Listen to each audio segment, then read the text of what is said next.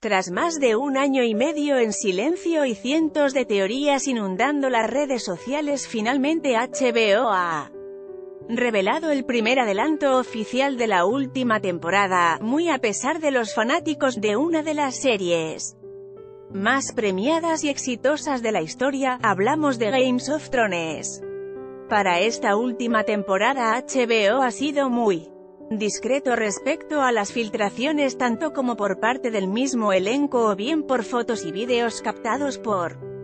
los fanáticos de la serie que acuden a las locaciones elegidas por el equipo de producción. El adelanto inicia con una Arya Stark, Maisie Williams, aterrada, tratando de huir de la oscuridad a través de lo que parece ser los pasillos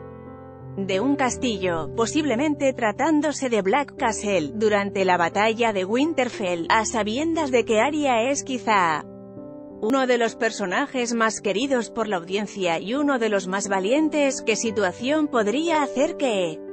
la niña sin nombre huya despavorida? Uno de los momentos más esperados era ver esta relación Stark-Targaryen, la cual al parecer continuará en busca de derrotar al Rey de la Noche, el cual finalmente y tras casi seis temporadas, ha llegado a Winterfell. Jon Snow, Kit Harington y Daenerys Targaryen, Emilia Clarke, aparecen junto a los dos últimos dragones vivos. Drogon y Raegal, ¿será acaso que Ion montará a uno? Es bien sabido por todos de que el rey de Norte cuenta con sangre, dragón, en sus venas. La temporada 8 de Game of Thrones se estrenará el domingo 14 de abril. ¿Y qué pasará cuando la serie culmine? Bueno, no todo son malas noticias para los fanáticos ya que quizá Game of Thrones llegue a su fin, pero HBO ha dado el visto bueno para iniciar la producción de una precuela, presuntamente titulada The Long Night y creada por el propio escritor. Si bien los detalles de esta nueva serie aún son muy escasos, los productores han dado un nombre de quien será la encargado de protagonizar la serie, y